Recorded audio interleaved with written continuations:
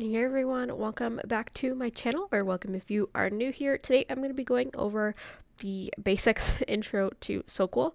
Um, this is Salesforce's version of SQL. SOQL is um, a reporting type of language.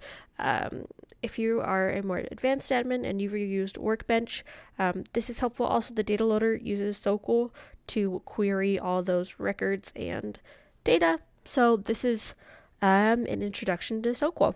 Um, of course, this is going to be the basics. I am starting a new series on a developer related things, so keep your eye out. Next week, um, it should be um, an introduction to Workbench. So um, let's go ahead and jump into it.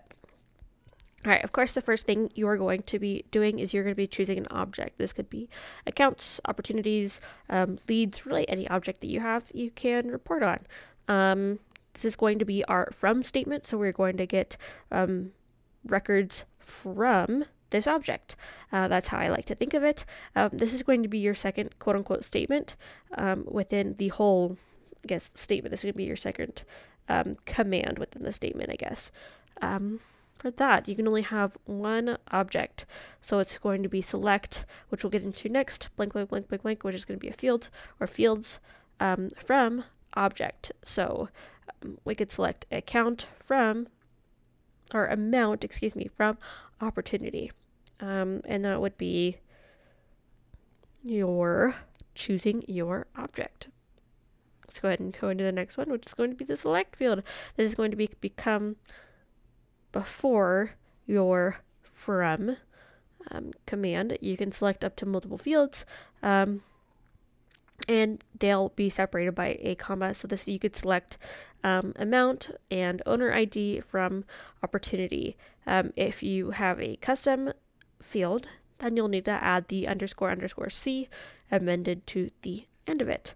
Um, so yes, we could also select lead email from, or you could select email from lead um, if you wanted to export a bunch of emails to upload into an email list, um, that is how you would do this. Next, we will have filter results. Or you can filter your results. Um, of course, this is going to be very much similar to um, a report filter. One thing that I like to do actually um, is sometimes I will practice in Workbench um, side by side with a report. Um, reports work very similarly to SOQL. Um, so let's say you chose the um, object of account, which is the report type, and then you select your fields, um, or you can narrow down your fields in the report builder, um, and then select the same fields in Workbench side by side. Um, and then we go into filters. So this way you can narrow down your results. So you can only have opportunities that are closed won in your results. So you could select any fields, any series of fields. I just selected amount um, from opportunity where closed won is true. What this would mean is that um, we'd have a list of opportunities that were closed won, and we'd only see the amount. So we could export that list and then subtotal the closed won amounts. This would work if maybe the report builder wasn't showing you all of the fields that you needed to see. And then you could export it into um, Excel and then subtotal that there or into Tableau or any type of data manipulation reporting software. Um, you can filter by different um, criteria.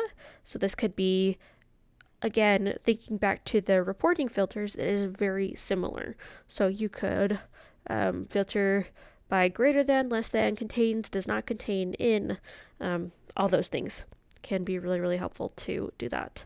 You can have multiple filters amended to it. Um, this would be with an and statement or an or statement. So let's say we wanted to have um, selecting the amount from the opportunity where the stage is negotiation and the stage is also closed won. So this would honestly, this probably would not work because it would have both of the requirements. It would need to be in stage negotiation and closed won. Um, however, if you amended an or statement to this, it would be either the stage, it would return the amount field from opportunities where the stage was uh, negotiation or it was closed won. Um, and statements can work really well if you have maybe two checkbox fields um, where you needed the checkbox to equal both true. Um, this could also be really helpful for pick list fields um, using an and statement um, on two different fields. Um, and of course, it would be the where statement would show the field name, the criteria, and then the result, I guess, as well as the then the and statement would have to have another field, the criteria, and then the result. So what I mean by field criteria, we have stage criteria is field, and then the result would be negotiation, which is a list value, and then you again and um, you have to start back over at the field name, and then go to the result after criteria, of course. I hope that was made any sense. Um, next week, when I show you in Workbench, this will make a lot more sense. So let's go ahead and go to the final thing that you can do within SOQL. Um, just the basics of it is that you can sort, sort it um, by the field.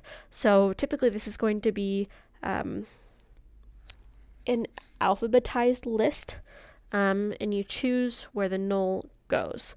So let's say um, we wanted to sort by last name on the lead, it would be select name um, from lead. Um, and if we didn't have any type of filtering criteria, it would go order by name, ascending or descending, and then nulls first or last.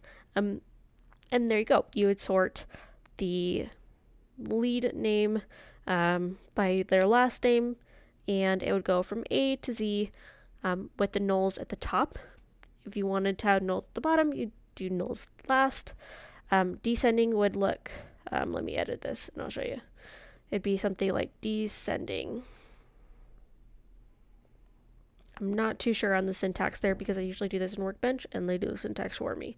Um, but of course, you'd be able to set limits, um, which would be you only want to see the top 10 results or the top 20 results. This would be really useful um, if you had a certain set of criteria where you'd want to see like the highest amounts or you wanted to see um, only the top 10 results.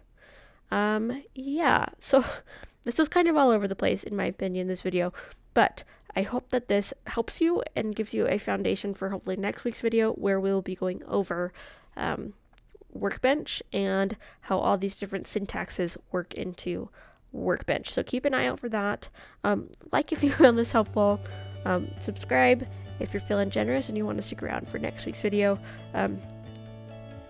I should be able to link this either in the comments as a pinned comment or um, in the description box for the Workbench tutorial once it's out. So thank you so much for joining me. Check out my courses down below, and I'll catch you in the next one. Bye.